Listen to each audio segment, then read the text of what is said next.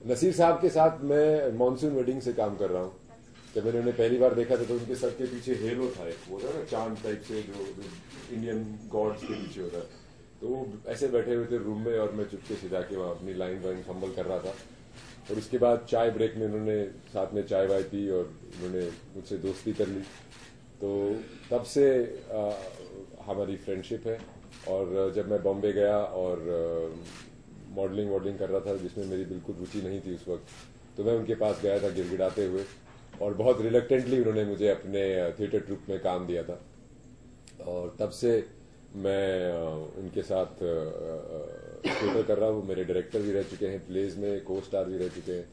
मैं कुत्ते की तरह उनके पीछे पीछे पूरे देश में जहाँ जहाँ वो वर्कशॉप कर रहे होते थे, पीछे पीछे जाता था। Although even I I to borrow money to afford the travel even तो वो सब करते करते अभी फिर से वो को स्टार है मेरे इस फ़िल्म में।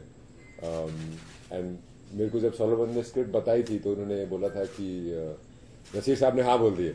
तो वो स्क्रिप्ट में जो एक दो महीने लगा था पढ़ने में मैंने उसी दिन पढ़ ली और सोलोमन को बोल दिया कि ज़रूर मैं इस, इस पिक्चर का हिस्सा बनना चाहूँगा।